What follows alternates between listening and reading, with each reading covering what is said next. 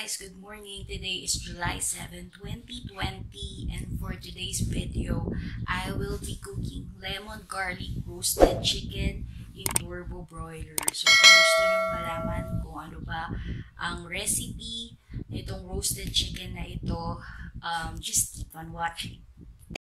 So i-ready muna natin ang turbo broiler dahil 10 years na itong hindi nagagamit trinay muna namin paanda rin ulit. So, for 10 minutes, 125 degrees Celsius yung settings niya. Tapos, tingnan natin kung yun, mainit naman na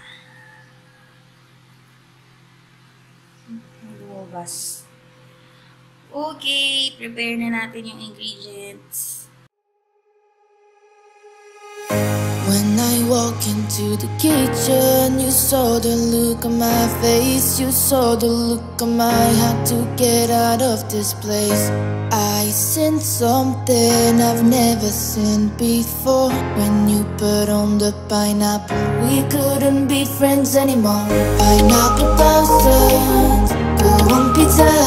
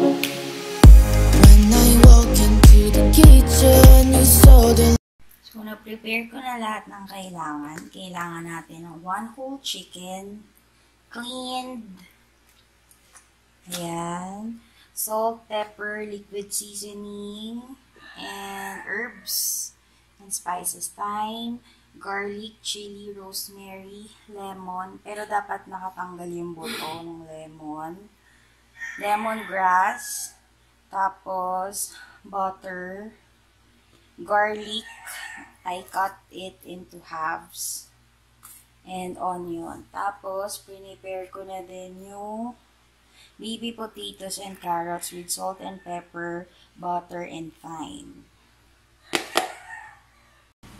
Ayan, so ngayon is stuff na natin yung chicken ng mga herbs and spices. Tapos, um, pag dito, i-massage natin siya ng butter. So, i-explain ko sa inyo kada step na gagawin natin. So, ang makikita nyo lang is itong chicken and yung herbs and spices kasi hindi ako makita sa frame. Sige. So, we got our one whole chicken and let's put some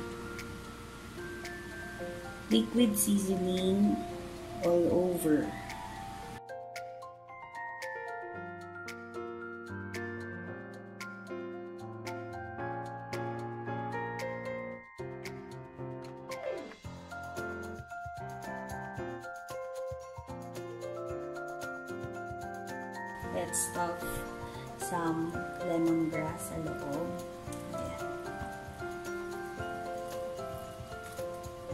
Tapos, pasok natin yung garlic.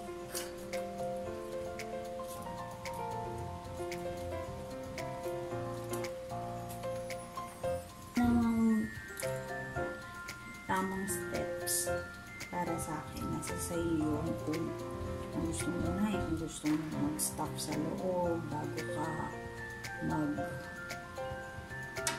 mag-season sa labas.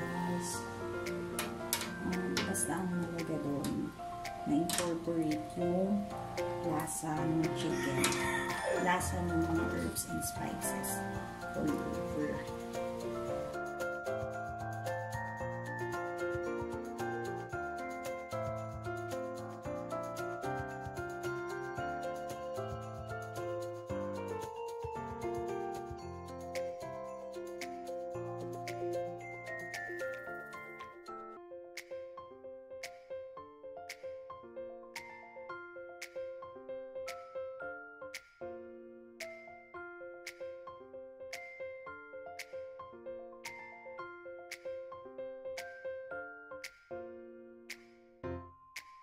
And toothpick to close this part ng chicken.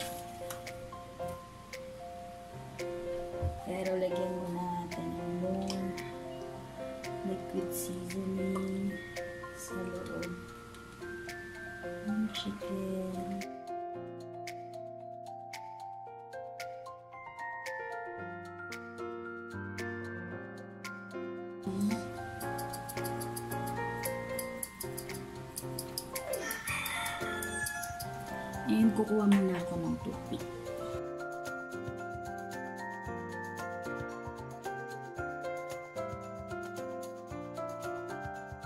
Massage natin siya ng butter.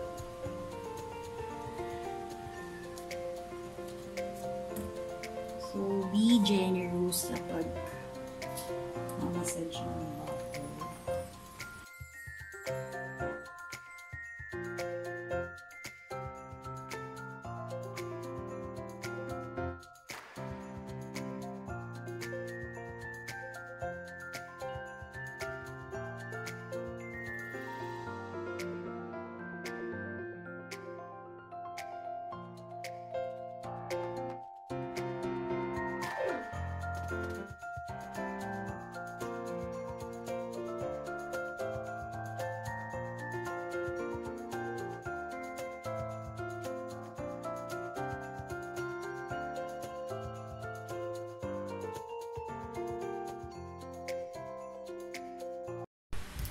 So, this is the stuffed chicken.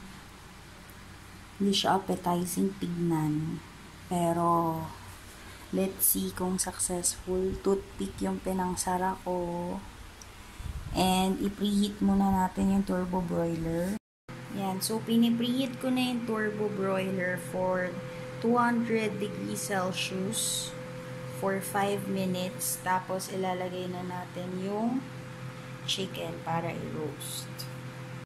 So, nalagay ko na yung chicken for 33 minutes, 35. Basta mga ganong oras lang for 200 degrees Celsius. Tapos, nilagay ko na rin yung potatoes, carrots. And let's see kung magiging successful ang ating lemon garlic roasted chicken in turbo broiler.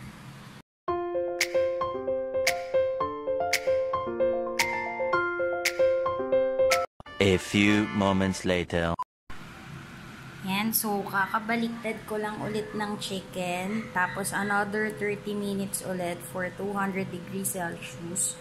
Pero medyo tinaasan ko siya ng konti. Siguro mga 210 to or 205. So, nag-baste ako ng olive oil, liquid seasoning, and butter. So, after 30 minutes, tignan natin ulit kung luto na talaga siya or mag extend pa tayo ulit ng another 15 minutes. Tapos, yung vegetables, yung potatoes and carrots, um, tender fork na siya tender fork o fork tender. Basta ganun. Ano, um, tawag dito, parang hindi pa naman siya ganun kaluto yung mga gulay. Kaya, sinama ko ulit sila dito sa turbo. So, let's see kung anong magiging kinalabasan ng ating roasted chicken. 5 minutes na lang ang natitira So, base na nakikita ko, nag-brown na siya. Pero hindi pa ako satisfied sa pagka-brown niya. Feeling ko mag-extend pa ako ng another 20 minutes. Tapos, babalik ta rin ko ulit yung chicken para breast side up. Para pagkaluto, pagkalagay sa plate, um, maayos yung position niya. Tapos, yung stuffing niya, hindi effective yung toothpicks. Kasi manipis yung balat niya around that area. So, lumabas yung onions and garlic. Ayan. Pero, okay naman. Kasi, um, na-flavorize pa rin niya yung turbo. So, let's see. Nag-ring na yung timer. So, let's see kung nag-brown na ba talaga. Wow! Talagang umaano pa talaga yung oil niya. So, ito, medyo white. Pero yan yung pinakalaman niya. So, ibaliktad natin siya para breast side up.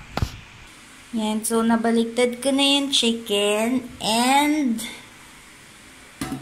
i-extend natin ulit.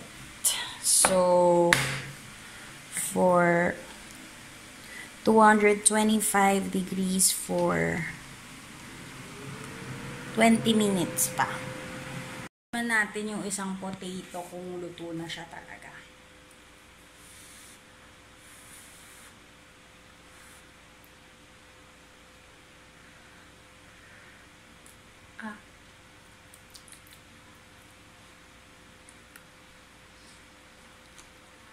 Mm. Luto na siya. Tapos, pagluto na yung chicken, gagawa pala ako ng gravy. Luto na ang ating roasted chicken. Ayan na siya. With the gulays and all. After 1 hour and 20 minutes. So, kailangan kong gumawa ng gravy. Tapos yung drippings niya, ihalo natin siya sa gravy.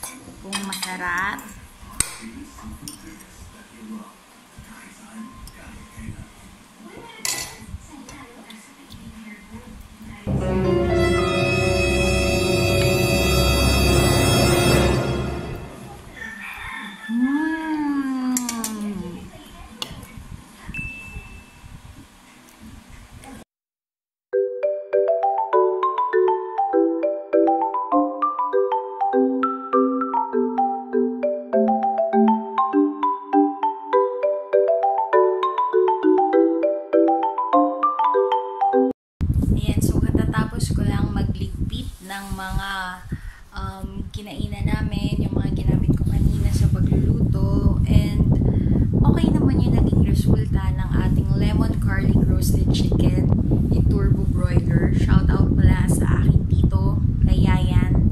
Dahil sa kanya ang turbo broiler na yon And matagal niya nang hindi kinukuha dito sa bahay. So, nagbakasakali lang talaga ako na kung gagana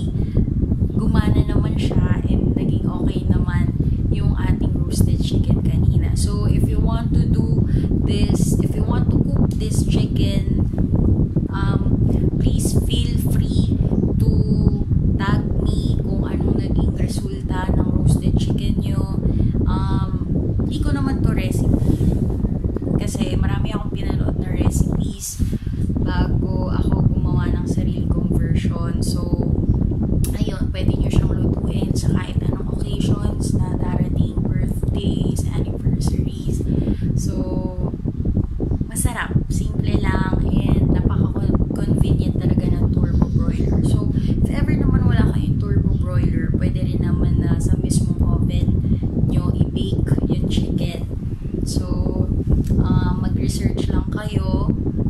Uh,